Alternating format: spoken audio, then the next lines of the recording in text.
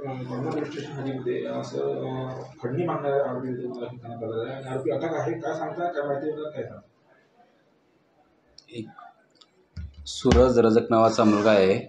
आपण गुलशन नगरमध्ये राहतो. गेल्या रविवारी म्हणजे तेरा तारखेला त्याला अक्षय चांबळा वगैरे भेटला.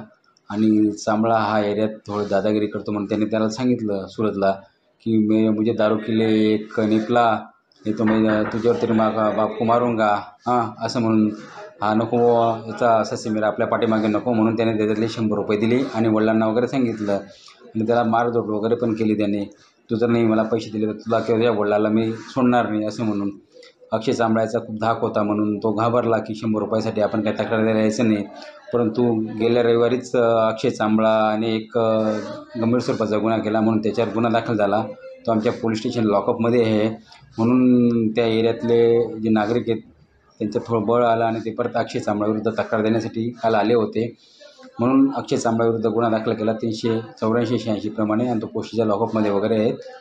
लोकांनी खूप समाधान व्यक्त केलं. सदर जी कारवाई म्हणजे आमचे पोलीस नागपूर पोलीस दलाचे प्रमुख माननीय Amitesh Kumar sir C P sir आमचे जॉईंट सी पी मॅडम अ, दोर्जे मॅ श्रीमती दोर्जे मॅडम तसंच आमचे रिजन सर नवीनचंद्र रेड्डीजी तसेच आमचे डी सी पी सर आणि एस पी मॅडम यांच्या मार्गदर्शनाने करण्यात आलेली आहे. आरोपी लॉकअपमध्ये आहे. आणि तपासून तपास करून आम्ही पी सी आर वगैरे घेऊ.